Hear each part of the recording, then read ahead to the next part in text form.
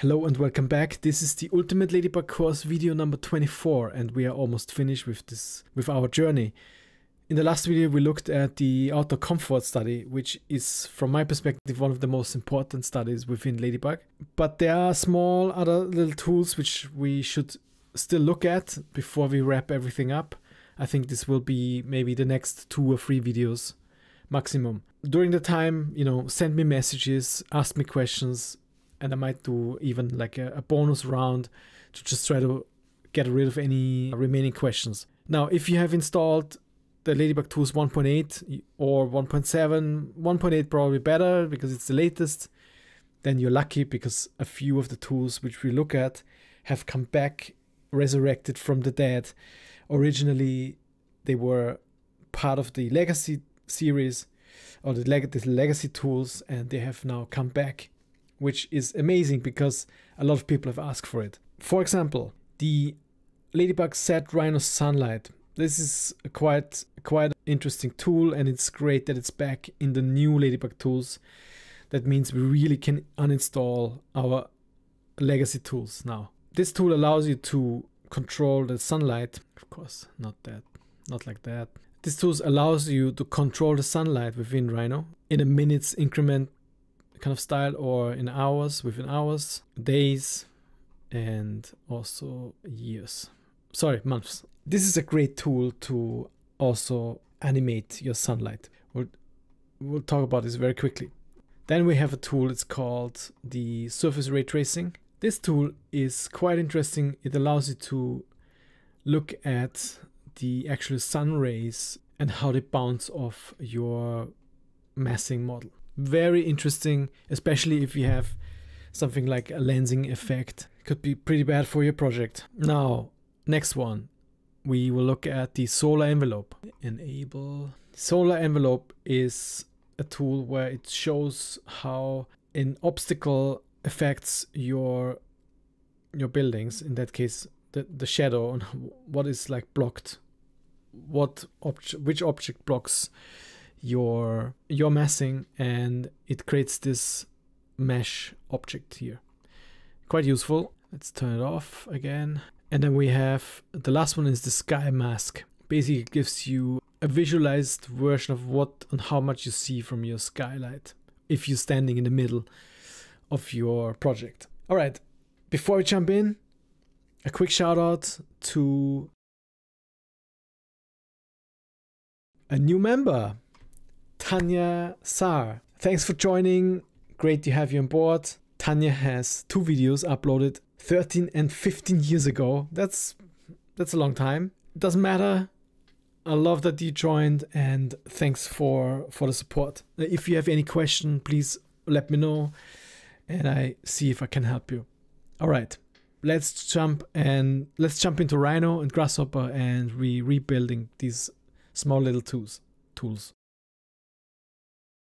Alright, I'm gonna kill everything here so you can follow along. No, I killed the wrong thing. Verflucht nochmal heißt. My delete button doesn't work. Alright, imagine you have your weather file. Well, actually we don't need the weather file. We only need the location. So we can get the location by just extracting the location and not the entire not the entire weather file. This is with this tool here. Now, if we want to control the sunlight, Rhino sunlight, a few things need to be you need to make sure first in Rhino.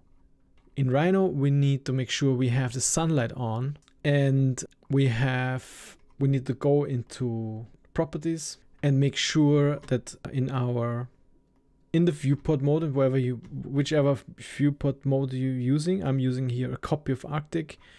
So i can control quite a lot in terms of which lines i want to see and so on. You need to make sure that you have here scene lighting on. That's important okay? And in your display, you need to turn on shadows. Now, I also control the shadows quite a lot. Again, sorry, this is, I need to go back here into properties. The shadows, there is a menu where you can co control the shadows. Normally, what I do, I want to have sharper shadows. You can make it softer, but I I like when they really touch the object because sometimes this it doesn't. So if you, for example, go on a softer shadow, you see that it this it kind of doesn't really work. It depends. in, It depends how big your pro project is. It depends on how big your model is. If you have a small model, then there shouldn't be a problem. I have a very big model, so that's why it's better. I I control this here. Now the shadow quality doesn't need to be. You can see that actually when is the point where it doesn't look very good. So here it's still okay for me. The edge quality I want to have faster, but that also means it's it, it it's a bit jagged, but at least it's it touches your model. Self-shadowing artifacts, cleaner. It's yeah. I I if you go here, I don't see much difference between cleaner and and let's say here one, two, three, four at at this fourth kind of small little line. Transparent object we don't need that because we don't have any transparent object. And you can set a camera clipping bubble but i yeah you can do that but then you need to also make sure that this is not ticked. I'm i'm i'm fine with doesn't make much difference for me here but you can play around with this of course you can also check manually how that looks like but we're not going manual for now we want to control it inside grasshopper we go back to Grasshopper and we have our tool here, set Rhino Sun. And we can place the location and we just need a toggle to run it. Now, problem, it doesn't have any information about the hours of the year. What we could do is we could just get a slider with numbers. And with that, you could control the number, the, the hours of the year.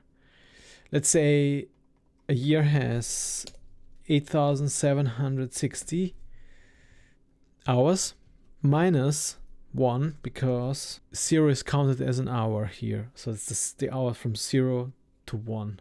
From midnight, New Year midnight to 1 o'clock in the morning. But yeah, in total this will be is all the hours of the year. Now that doesn't really work very well because you know it's very hard to control. Now, if we put less here, for example, just the first, the first 12 hours, that could work. Then, yeah, you can actually see it. So it starts from 6, around 6, 7, 8, 9, 10, until 12. Let's do the 20, let's 24 hours. The first 24 hours. So you have a whole day. Now, there's another tool which we could use is the calculate hours of the year tool. This makes a bit more sense. We can put here oh this is not right. 1 to 21 to 31 is the day. You also can check here. It's if you hover over this input then you can see what you have to input. It's like 1 to 31 so this is correct. I don't know why 31 doesn't work. Let's see if if this works. Interesting? Yes so there's something wrong okay we can add another another slider with the hours so it's from 0 to 0 to 23. Okay, let's check. And then minutes from 0 to 59. 59. I would love that this just puts the 59 as a maximum. Okay. Again, 60 minutes. 60 minutes, but we start with 0. So 59 minutes and 0. Now you can see already there's a whole of the hours of the year. This is the month January because we haven't put any slider yet. So we can uh, put another slider here. It's from 1 to 12. Okay, maybe that's why. Let's put here back 1 to 31, of course, because in February you don't have, we have only 28 days. Now we can check if that works because I I have the feeling there's something not completely right here. So if I'm January, I set this to day one, we can double check by putting a date analyzer, Ladybug hours of the year to date time. Let's put this, let's do this. Yeah, that that is correct. Okay. Oops. All right. Okay. I think yes, now that works. Our 14 month. Yes. Okay. Yeah, so that's way on how you can double check if everything works correctly. Delete this. I don't know, my my keyboard doesn't work properly at the moment. We can use this instead of our slider. So we can put this in here and voila, we have our, we can control our sunlight based on the day based on the hours and even minutes. That's pretty cool. So you can really check every minute. It's really good. All right. So that's the first thing we need. Now, if you want to animate, for example, any slider, you can always uh, use, you can click on a slider, right click on a slider and animate. I did a whole video on that and you can find the link in the show notes. I did it years ago, but it's exactly the same process. You can check it out. I, I think I used a different way to animate with, uh, I didn't use this tool here, the calculate hours of the year, but this is one way to use it. And please check this other video. It tells you exactly how to animate stuff with sliders. Now, okay, we jump into the next one. This is now if you want to look at the rays of the sunlight hitting the surface, we can use this tool, the surface ray tracing tool. Now, before we can use that though, we need another in between preparation, which is we need vectors. We need to show a vector. We can, of course, make up our own vector, but in that case, we want to show the vector of the sunlight based on the actual daytime, date, date and daytime, which is a tool we need to bring in, which is the Ladybug Sun Path. The sun path needs the location as well, so we can use the location. It also needs the hours of the year, and we already have this tool here. You can see it. Now, I I would like to place the center point somewhere else. So I, I use this inner courtyard as my center point. So I create a I need to create a point here. I think this is good enough. And I can place a point container and then I place one point. Oops, where is it? Didn't work. Okay, points not visible. Yeah, it's visible. I gotta restart my computer. Yeah, something wrong with my computer. All right, back now. Good, okay. I can set one point. This is now my center and I can also change the scale here because I, I, think the scale is too big. We can also, of, of course, turn this off whenever we, we want. But what we need out of this is the vector. The vector of the current hour of the year. And so that's why the first input here is vectors. So we can put this in here. Now it doesn't do much we need to put a source geometry. This is the this is the this is a geometry which generates a grid. So it's basically the first. It it defines a, a, a distance between the rays. So I can use this as my initial surface. Just put here surface and put this in here. I, I will not preview it. And context. Context, by the way, these sub-D models and Cool thing is we can actually use that. Sub-D tools, sub-D model. Yeah, so now they're in here. And I can use this as a context. Now the grid size, we want to define how many rays are on this surface or hit the surface based on the grid size. And I put here just a bigger number so we're not we don't have a problem with the calculation time. Put five here first. Now because because these are yeah, you can see actually there's a lot of actually the buildings already blocking the view. It takes quite a while to calculate that because I have here a much more complicated massing than previously. So if it's just a simple massing like like this, then no, then there's no problem. It goes very quick. But because I have my sub-D tools here, my sub-D models, it takes a bit while, a, a bit takes a bit longer. Now, if you want to learn how to model sub-D, check out my latest video. I'll, I'll put it in this in the show notes. And I will there will be more videos for sure because sub-D is an amazing way of modeling and it can be used eh, also in Grasshopper. It's pretty cool. Now you can also put a bounce count here, but of course then it takes even longer. So you can set on how often your array should bounce within your geometry. And you can set the length and so on, the length of, of these rays and how they displayed. And last but not least, you can also export this as curves. So you can, if you place here a curve, you can then bake the curves. Quite interesting. I will turn this off because it takes a while to calculate. With simpler models, you can even animate that. This or even with this one, just takes a while to calculate each slide. I was turn this off here. Now, next tool, next tool is the. Oh, well, I'll go a bit reversed. I can use. I can do the sky the the sky mask. It's quite simple to understand. Let's get this here. Context is my models, and the funny thing is, it creates this dome thing in the middle of the of the object. Again we can use our point to create the center so we can put this here. And we can create we can use the same scale as our sun path. So put the scale here. So it's the same same scale. And now we can put in some if we have some other object.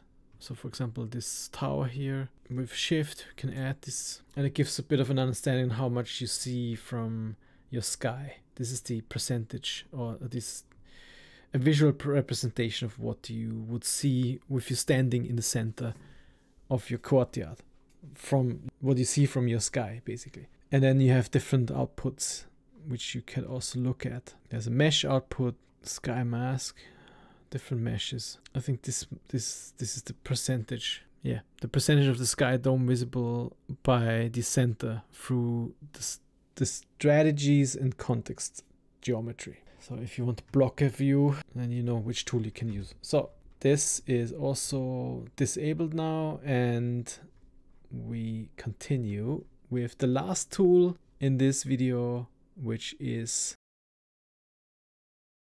the solar envelope. Quite interesting stuff going on here. Geometry, again, this is geometry I want to check, which is the buildings and the obstacle could be, for example, this tower and I need a vector, same as for the surface ray tracing. I need a vector or vectors, and in that case I need a run button, same as the the Rhino-Sun, set Rhino-Sun tool. And sorry, grid size. I also need a grid size. Get this from here. Oh, put the wrong geometry here. So at the moment, this is this obstacle here just just scratches this building here. But if I, of course, now change my daytime, it will also change this. Oops, that's not what I want. I think I need to change the grid size just for now. Let me disable this for just for now. Yeah. Now, if I turn this back on, you can see what I tried to show you. So you could also just place here a flat plane and it will just show you how your obstacle will influence the space behind behind it or behind the sun. It could be quite interesting if you if you for example put more vectors, sun vectors in here to check a whole day and create this mesh. So yeah, loads of possibilities with this tool. Quite interesting. Now, as with all tools, always read what's written here so you get a better understanding of what of what you actually can do with this stuff and for what it's for what it's used. So for example here, the generate a solar envelope boundary for a given geometry, set a sun vector and context. Solar collection envelope show the height above which one will have solar access to certain sun positions in a given on a given site. Solar rights envelopes illustrates the volume in which one can build while ensuring that new development does not shade the surrounding properties for certain sun positions. What else? In the next video, we probably look at some other stuff here. The shade benefit and the thermal shade benefit and the Ladybug real-time incident radiation and Ladybug view from sunlight. And then there are a few other extras left. There's quite a lot actually. Some of them we have used already, or we go through this fairly quickly. It's more like how can we make our output look prettier and so on. Hope that video helps and see you in the next one.